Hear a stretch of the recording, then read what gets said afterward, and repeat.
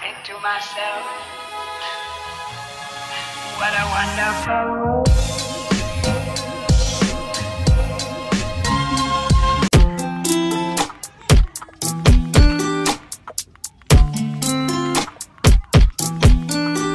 Good morning mga besh. Nandito nga kami ngayon sa malayong probinsya ng China. Inabot na nga kami ng ulan sa travel naming ito. At ito ang aming villa. May apat na kwarto itong villa na kinuha ng aming amo. At ang kwarto namin ay dito sa baba.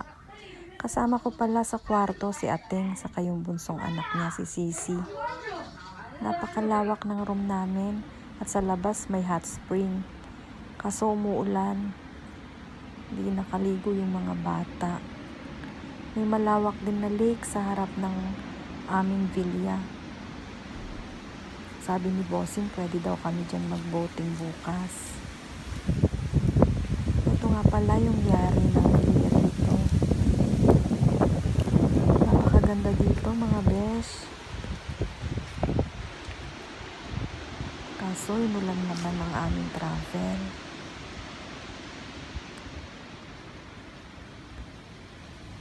Yan yung villa namin.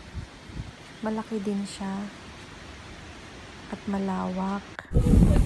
Pero kahit umuulan, ayun no, naligo ako sa hotspring. Tapos binidyo pala ako ni among hindi ko alam. Sinend niya lang sa WeChat sa akin. Pirin namin itong hanging bridge para makapunta kami sa malino na tubig eh, sa river para maligo. Kailangan tawirin namin itong hanging bridge ay, mauga. Para makaligo. I am good.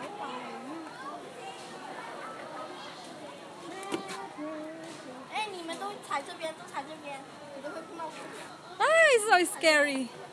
Okay.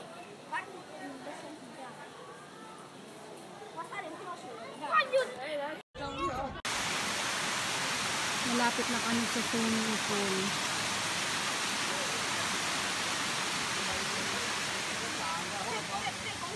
Yan ang daan na punta dito.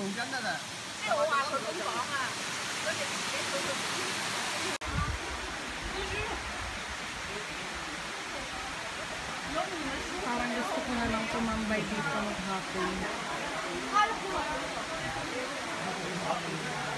Nature. I love nature.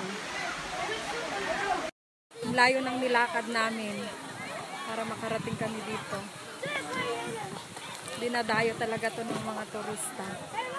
Kasi sobrang linis ng tubig.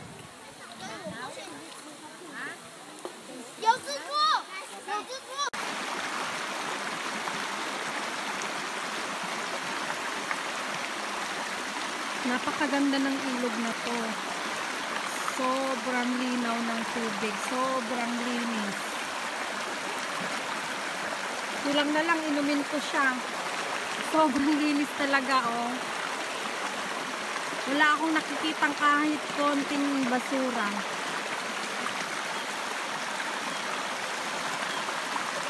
Yung agos ng tubig, ang sarap sa pakiramdam.